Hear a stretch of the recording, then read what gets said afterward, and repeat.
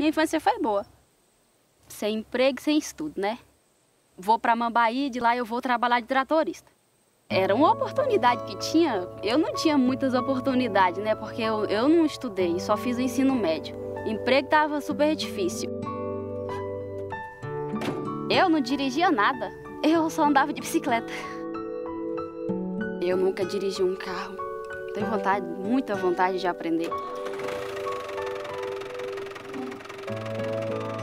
Às vezes é inacreditável estar na vida que eu estava antes e chegar aqui, estar tá trabalhando, levantar todo dia, esse horário que a gente levanta, 5 e meia da manhã. Você não tem tempo para estar arrumando cabelo, para estar pintando unha. Não tem.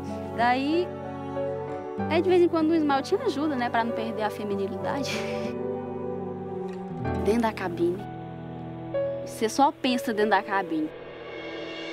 Quando eu tô dentro da cabine do trator, eu fico pensando às vezes assim, meu Deus, eu não acredito que eu sou tratorista. Eles elogiam a gente trabalhando aqui. E é claro, quem é que não gosta de elogio, né? Aqui eu encontrei, eu encontrei liberdade, independência.